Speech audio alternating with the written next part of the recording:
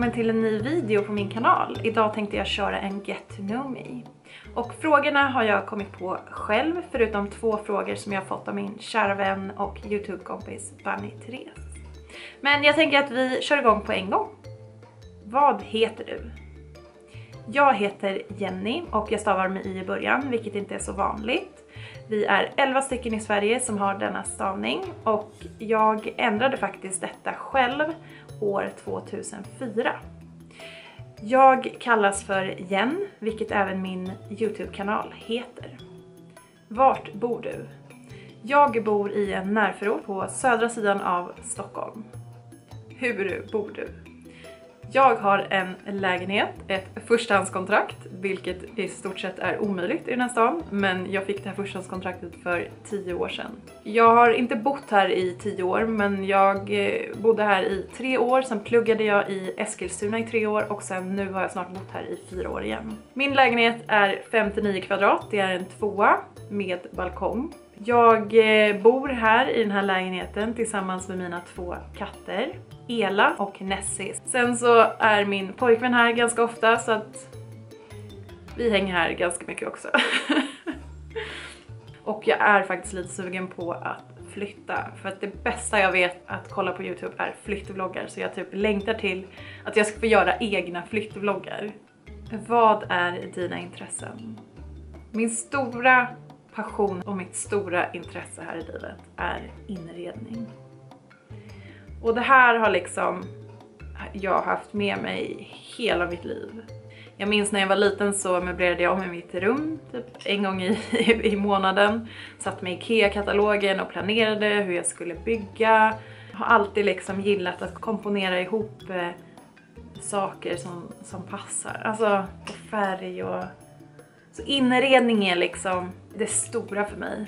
Sen har jag ett intresse för media överlag och jag har fotat väldigt mycket tidigare men sen så upptäckte jag video för, vad är det nu, två, tre år sedan och tycker att klippa video, alltså, alltså redigera video är fantastiskt roligt och det är väldigt, väldigt kreativt. Men däremot så är jag perfektionist så det tar lite tid att klippa en video för mig. Ja, ett annat stort intresse som ni också kommer liksom få ta del av på den här kanalen är ju, jag älskar second hand. Och jag har hållit på väldigt mycket med att köpa och sälja i Facebookgrupper, Tradera. Jag tänkte i alla fall visa mina senaste second hand-fynd så ni får se lite vilken sorts stil som jag har på min inredning. Alltså jag vet inte riktigt vad det här är faktiskt. Men jag tror att det är typ ett grytunderlag. Men det är också en sån här grej med loppis att jag, eh, jag gör gärna om saker till någonting annat än vad det är tänkt liksom. Men det, den ser ut så här. 10 kronor fick jag betala för den här. Så att inredning, videoredigering, second hand och sen har jag massa andra intressen. Hur började ditt intresse för inredning?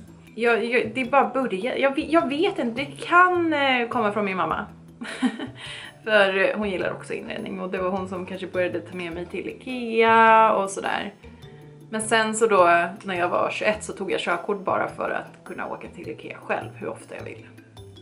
Så det är faktiskt anledningen till att jag tog körkort. Men eh, så jag har haft med mig inredning så länge som jag kan minnas.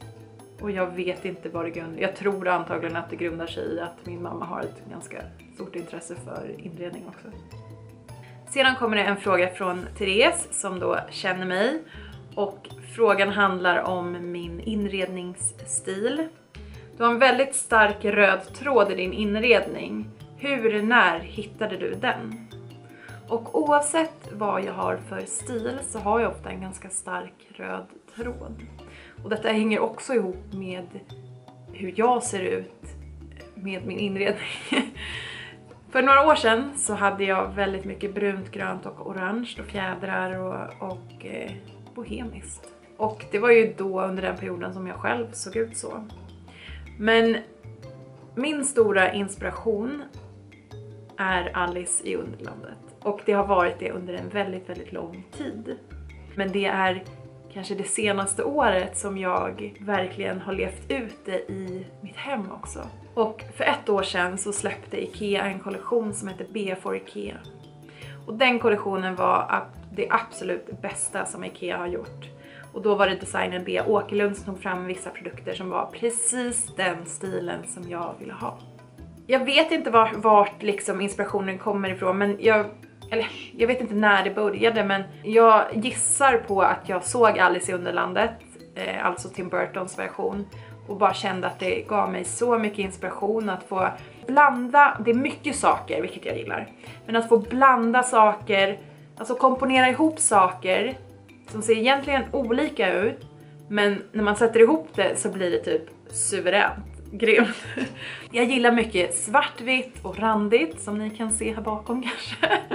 Och färg och nu är alltså rött och lila och guld och silver och liksom få duka upp bord med massa saker och om jag kollar på den här filmen nu igen, alltså jag får lika mycket inspiration varje gång och bara vill uttrycka mig ännu mer liksom.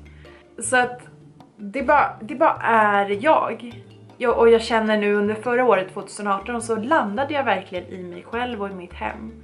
Det har liksom alltid funnits här inne. Och det känns så kul att, så här, att få uttrycka sig både liksom rumsligt och på mig själv. Det är så jag känner jag bara. Så Alice i Underlandet. Fast med min egen twist skulle jag ändå säga liksom. Jag älskar detaljer.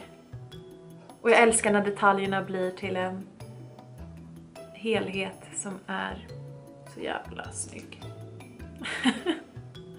Hur kommer det sig att du började med Youtube? Jag har alltid haft mitt stora intresse för inredning och tidigare så var jag tillsammans med en kille som hade en Youtube-kanal och vi började prata om att det kanske vore kul att typ visa upp vad det var jag pysslade med.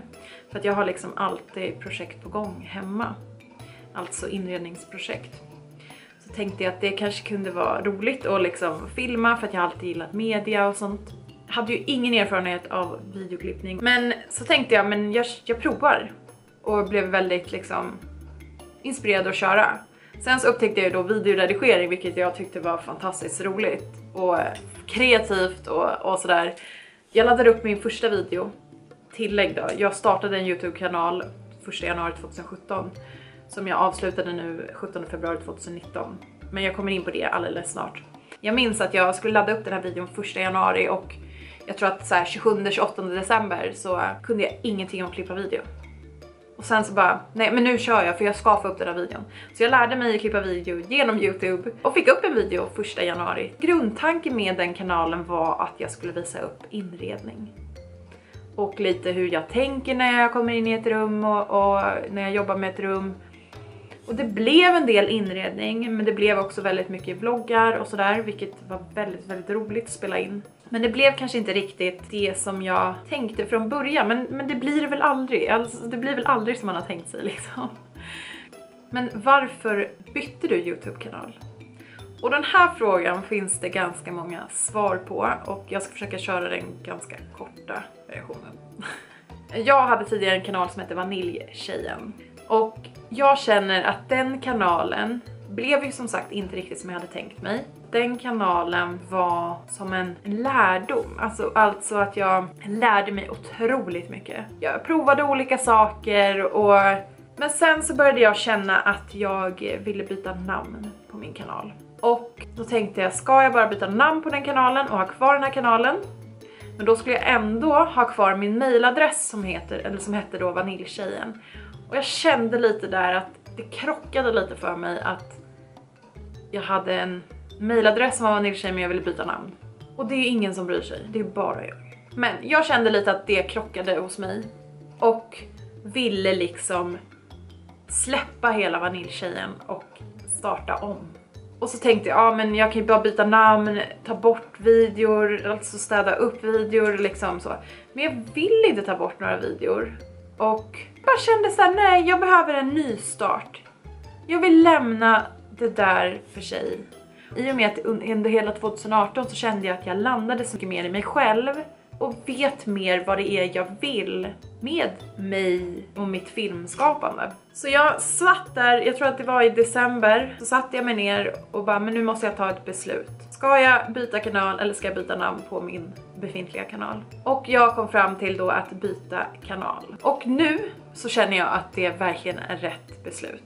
Bara få börja om på en helt ny kanal med en stil som jag verkligen vill köra på och alltså det känns så rätt. Så ni får jättegärna prenumerera på den här kanalen om ni vill. Vad är din plan med Youtube? Och det här är ett stort intresse för mig så att jag ska verkligen, verkligen försöka hitta tiden till att sitta och filma och redigera. Men ibland så kommer liksom livet emellan och det blir lite knepigt men jag ska verkligen försöka för att jag tycker att det är så himla himla roligt. Och liksom få sitta och klippa ihop.